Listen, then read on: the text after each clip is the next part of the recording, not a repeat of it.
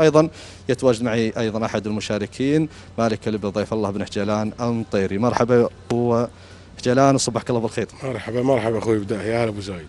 حي الله على الصفر. الله يحييك ويعافيك. إيش سويتوا اليوم في شوط الفحل وانتاجه؟ تبشرون بالخير؟ هذا شوط ناري الحقيقة. اي والله الحمد لله. وحضورك كل سنة حاضر والحقيقة داعم ومستمر. السنة هذه وش الجديد يا أبو حجلان؟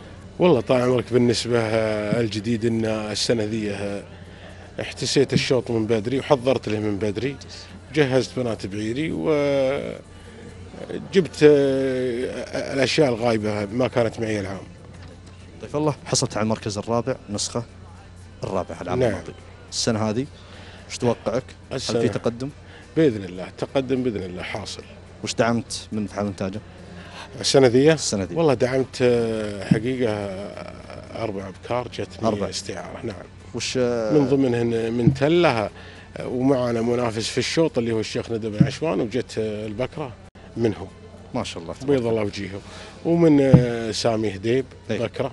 أنا بايعها العام. هذه مستعارة كلها من مستعارة بس شاركت معي العام اللي هي اللي مع سامي هديب. أي.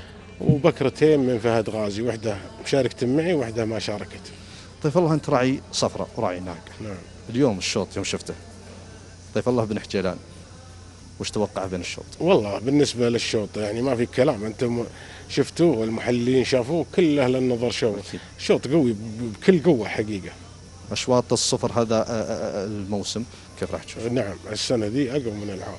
الله يوفقنا وإياكم وفق كل خير إن شاء الله. يا أبو وياكم مشكورين وبيض الله وجيكم تسلم شكرا لك.